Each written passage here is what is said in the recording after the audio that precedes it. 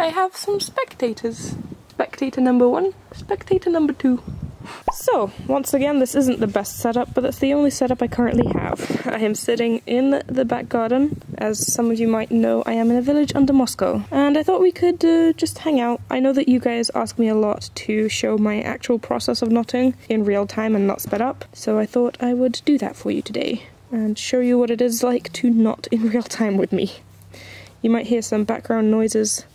Uh, we've got some neighbours, I think they're having a party I have no idea if it's a social distancing party or what, um, but they are playing some loud music in their house.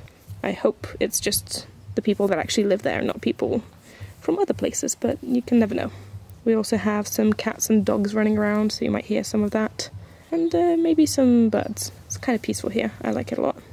So at this point, um, I've already filmed the tutorial for this. If you want a tutorial for this bracelet, I have that available. Will be linked as always. Um, but at this point I already know how to do the pattern, so I'm not actually following it. I don't have the pattern up anywhere. I'm just um, doing this from my brain. And basically, by looking back at the design, I can already see sort of where the strings need to go. And that's all I really need at this point to figure out how to make the design. So I've done multiple videos sort of like this, uh, where I just knot in real time and talk about random stuff, and I usually give a lot of tips uh, in them. And I've said this multiple times, but I'm going to say it again. When you have a bunch of knots that you need to make, so I've got a bunch of backward knots here, I like to take the strings I need to make the knots on and put them each in a finger like this to sort of fan them out to not have to separate them all the time when I'm knotting and I can just make the knots as I go. I feel like that saves a lot of time yeah, I thought we could just, you know, hang out a little bit, chat. Sometimes I do live streams when I'm knotting, so you guys can also hang out with me. Today I decided to just film a video instead. In these videos I usually talk about what's currently going on in my life and sort of just talk about that and give you guys sort of like life updates and such. But you know, nothing has really been happening in my life now that we are quarantined we are stuck at home and um, basically trying to continue our normal daily lives as is, as everybody else is doing as well. Thankfully, as I've mentioned before, we do have this back garden, so I am able to sort of go outside and hang out here for a bit and get some air.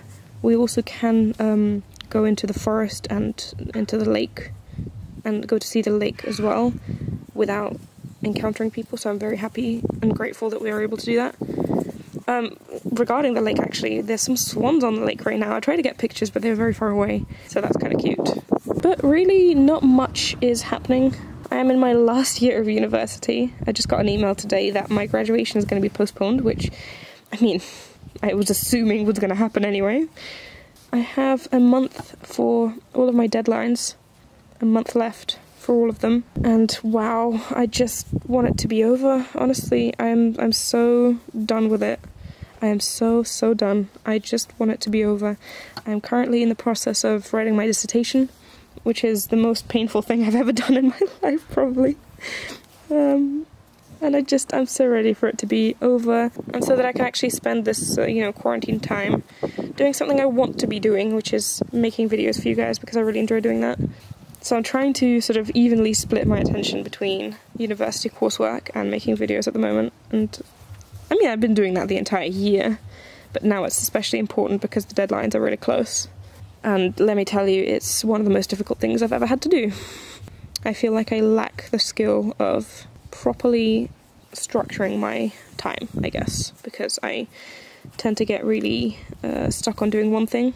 So I'll be making videos the entire day, or like editing videos an entire day, or something like that. And I'd find it really, really difficult to switch to actually um, do my coursework, but then when I do sit down to do my coursework on a different day, for example, I won't say that I spend the entire day doing that, because that's not true, but I do find it difficult to then switch to um, actually make a video if I need to do it um, based on like my schedule or whatever. I don't really have a set schedule at the moment, but I still have a sort of idea in my head that I want to post every couple of days at least. So yeah, I don't know, it's just kind of difficult It was my birthday the other day as well. Thank you guys so much for all of your congratulations. It felt very special when everybody messaged me. It's very nice. It was on the 7th of April, if you don't know. And, you know, despite the fact that we were stuck in lockdown, and we still are, I managed to have a really nice day. Uh, my husband and I, if, if you don't know, uh, I am, as I said, under, in a village in Moscow. Um, we are in a sort of a country house. It's my husband's family country house. And we are here, just me and him, and three cats. One of which uh, lived here originally, and two of which uh, my father in law had to bring because he can't take care of them at the moment. So we're essentially cat sitting for two of them. And they're really, really cute. Um, so yeah, it was just me and my husband out of the people. uh, and we had a very nice day. We sort of went out for a little bit. Um, as I said, we walked around the forest and the lake, and uh, it was very lovely. Still very socially isolated, I might add. Uh, no people around, but it was very nice. And then we came home, we did a little barbecue, and um, it was good. It was good. My family and I uh, all Skyped. I've got family all around the world. So much family everywhere and we all Skyped together, and they actually made me a cake. The family that I have in Moscow, the one that's the family that is closest to me right now, that I could have visited potentially, but I can't because of this lockdown.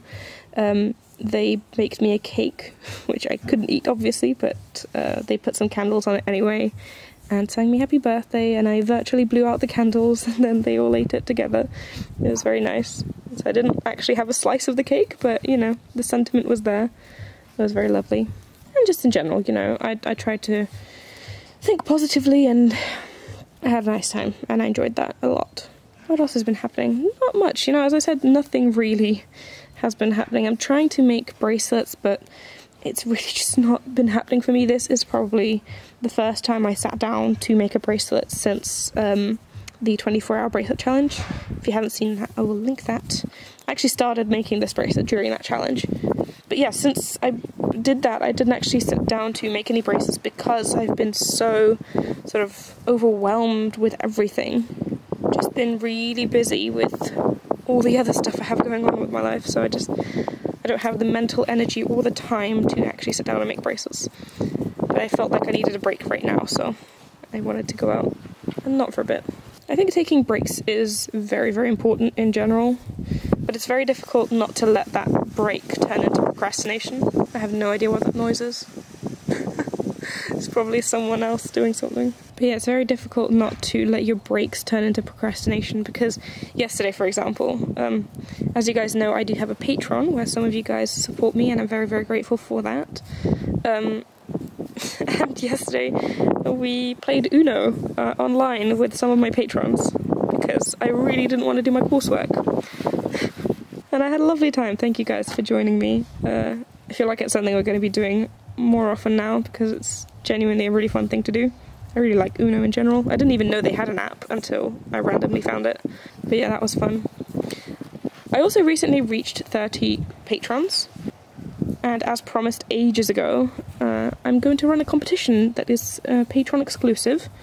And we just settled on how we're going to run it. I sort of asked my patrons what specifically they want to do, and we settled that it's going to be a themed competition and we settled on a theme, I believe. We might do it in rounds and such so that there's multiple winners. But if you want to join, it's not too late to join. As I said, we're going to be doing it in rounds as well, so maybe if you do it later, you can join as well. But yeah, hopefully that goes well. I'm really excited to see what everyone creates for the competition. And hopefully once this lockdown ends, I can actually send out all the prizes and such.